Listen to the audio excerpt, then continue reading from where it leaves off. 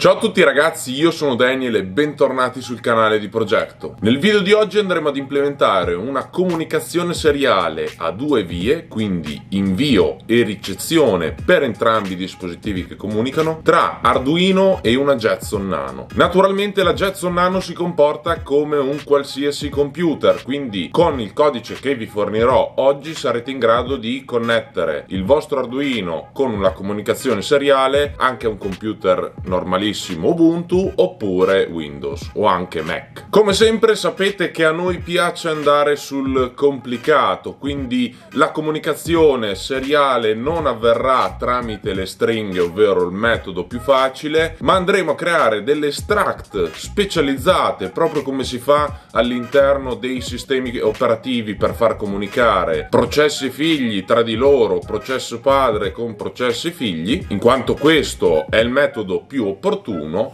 e sarà il caso di andare a specificare la struct ogni volta che andiamo a cambiare il tipo di utilizzo di questo script per la comunicazione seriale. In particolare lo script che girerà sul computer sarà scritto in Python. Ultima premessa prima di andare a vedere il codice, io questo script l'ho scritto principalmente per far comunicare Arduino e la Jetson Nano sulla Rev 21, se non avete visto il video ve lo metto qui e quindi dentro la parte codice ci saranno altri spezzoni canzoni che non servono. Infine ragazzi mi raccomando iscrivetevi, attivate la campanellina, lasciate un like al video e andiamo a vedere la parte codice. Quindi partiamo subito dal codice per Arduino. Vi andrò ad evidenziare i blocchi di codice che dovrete inserire anche voi e inoltre troverete questo codice qui insieme a quello successivo in Python sul nostro profilo GitHub. Voi naturalmente vedete il codice alle mie spalle perché sto utilizzando un green screen, io purtroppo non lo vedo, utilizzerò il telefono con degli screenshot in modo tale da non sprecare carta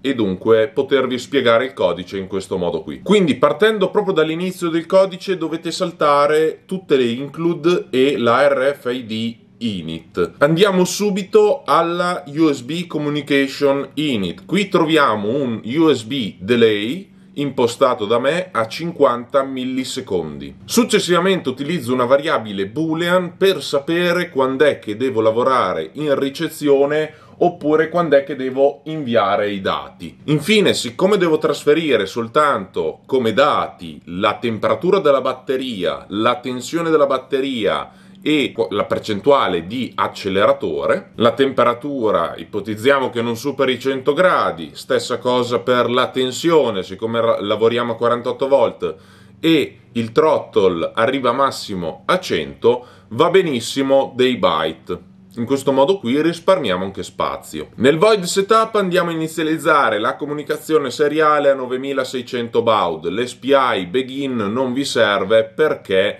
appunto serve soltanto al progetto Rev 21. In particolare serve per comunicare con la CAN. Se non avete visto, visto il video della CAN ve lo lascio proprio qui. Successivamente ho aggiunto un pin mod 12 output dove ho collegato un LED, dove l'altro terminale del LED va a massa per poter vedere quando è che stiamo comunicando e quando è che stiamo ricevendo. Se volete aggiungerlo potete farlo. E dunque per questa parte qui insomma abbiamo fatto. Passiamo passiamo successivamente alla send data to Jetson, questo blocco di codice. Allora io devo inviare tre valori, in particolare tre interi, va bene metterli interi all'inizio, e la funzione restituisce un intero, quindi int USB transmit con V1, V2 e V3. Innanzitutto, se la comunicazione seriale non è disponibile per la scrittura, noi andiamo a eh, ritornare 0. Quindi il valore 0 come valore di ritorno dice che questo l'abbiamo impostato noi, che l'invio dei dati non è andato a buon fine. Successivamente andiamo a creare un pacchetto pack, ovvero una struct chiamata packet, dove pack.batteryTemp prende V1, poi inseriamo V2 in pack bat e pack throttle uguale a V3.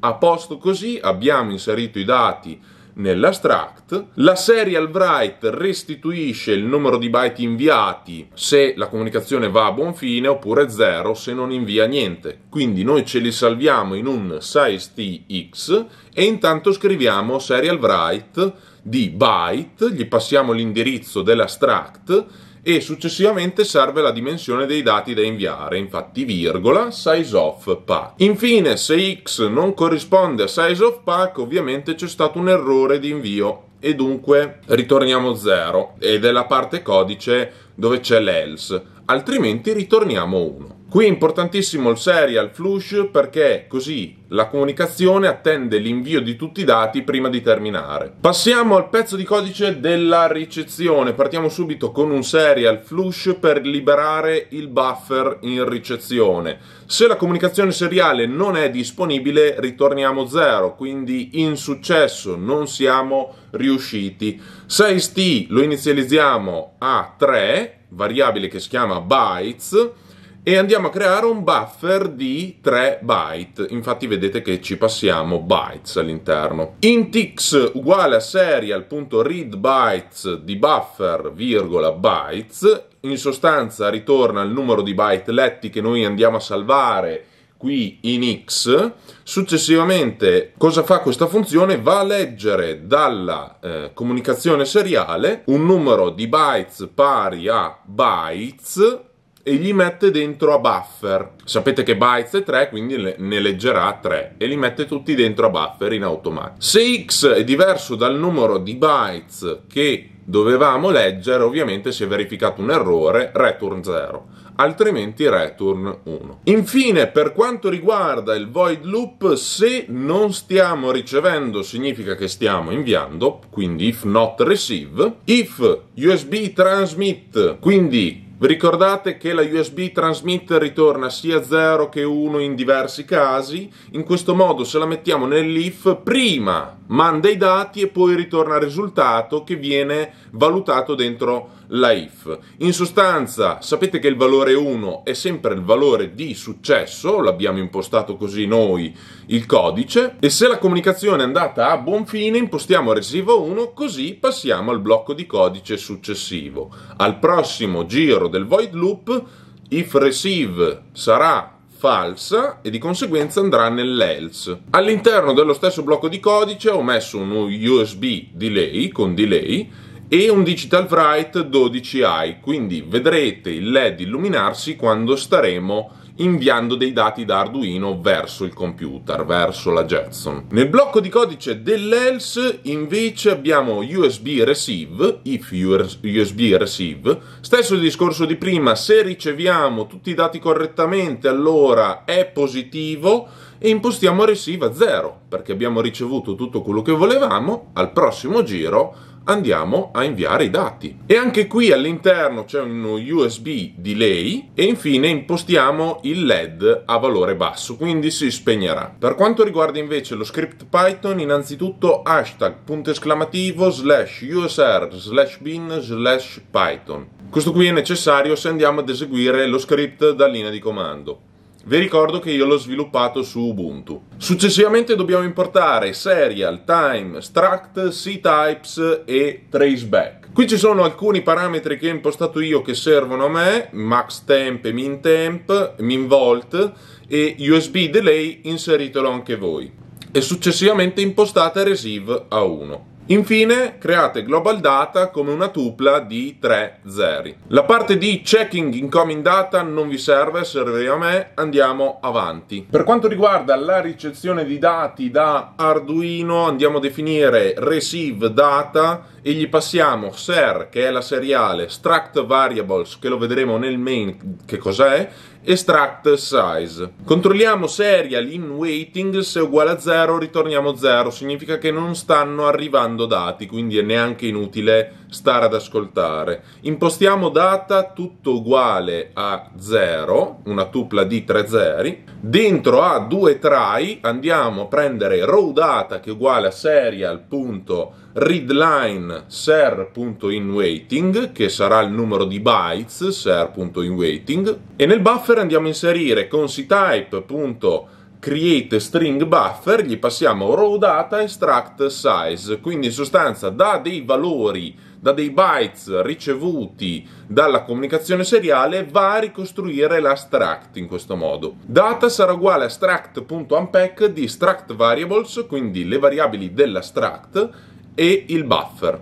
In questo modo avremo sostanzialmente recuperato una struct con 3 byte. Infine andiamo ad impostare global data uguale a data. Nell'except value error mettete tranquillamente PES, nell'except serial.serialutil.serial exception print connection error retrying. Spesso si verifica questo errore quando andate ad aprire il, mon- il, monitor seriale. Mi raccomando, non mettete alcuna print line o print nel codice di Arduino, altrimenti state inviando dei bytes nella comunicazione seriale. Anche qui, se in data è contenuto uno 0, significa che non abbiamo ricevuto niente oppure dei dati sbagliati e scartiamo quello che abbiamo ricevuto. Altrimenti, se tutto è andato a buon fine, ritorniamo un 1. Successivamente andiamo ad inviare i dati ad Arduino con la send data, alla quale passiamo sempre serial e struct variable. Per quanto riguarda l'invio dei dati ad Arduino, send data l'andiamo a definire, alla quale passiamo serial e struct variable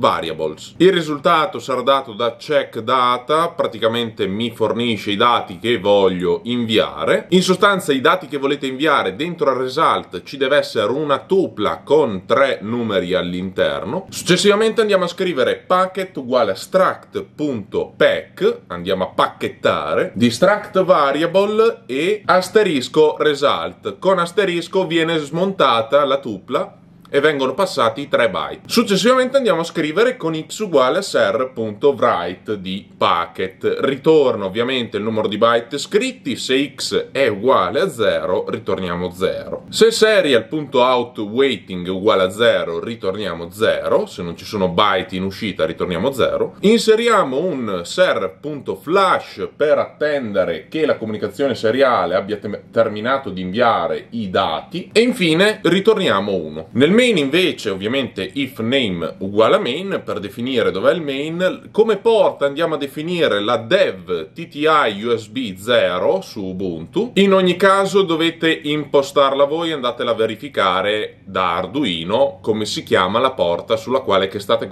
sulla quale state comunicando. Andiamo a impostare la baud rate a 9600 baud deve essere uguale a quella scritta su Arduino. Successivamente andiamo a creare ser che è uguale a ser serial.serial di port, baud rate e timeout uguale a 5. Successivamente bisognerebbe far ser.open, però quel ser.close eventualmente se è rimasta aperta la chiude prima e poi la riapre. In ogni caso funziona, potete fare come ho fatto io. Struct variables va a definire quali variabili ci sono nella struct. Qui vedete che eh, la parentesi angolare è definisce Little Endian e poi ho 3 byte scritti con la B grossa. Per qualsiasi cosa, se volete inviare altri dati, non chiedete a noi, andate sulla pagina di serial di Python, quindi PySerial. Lì c'è scritto tutto. Successivamente struct size sarà dato da struct.calc size di struct variables, quindi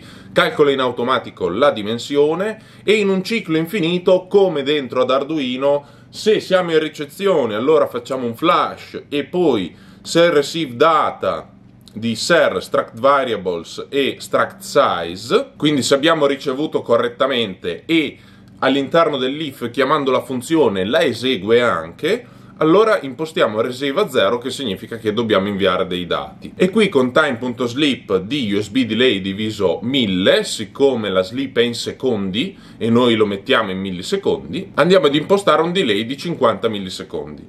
Nell'else, se stiamo inviando, allora chiamiamo sempre la funzione dentro all'if così viene eseguita anche la funzione contemporaneamente al controllo, gli passiamo ser e struct variables e se ci ritorna 1 significa che abbiamo inviato con successo i dati. Quindi impostiamo receive 1 al prossimo giro di ciclo andiamo ovviamente a leggere. E anche qui notate che c'è un delay di 50 millisecondi. Al di fuori di tutto, al di fuori del ciclo while, naturalmente serial.close te- al termine del programma. Taking the potion just to feel ya, cause I miss you.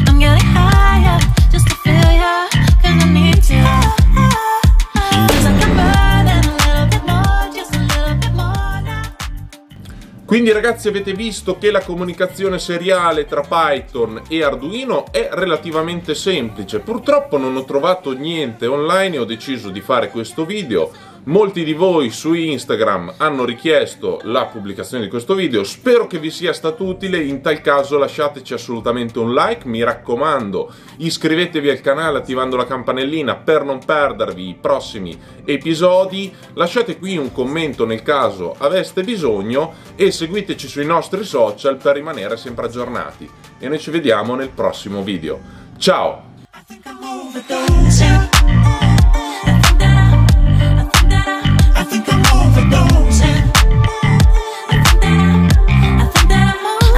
alone.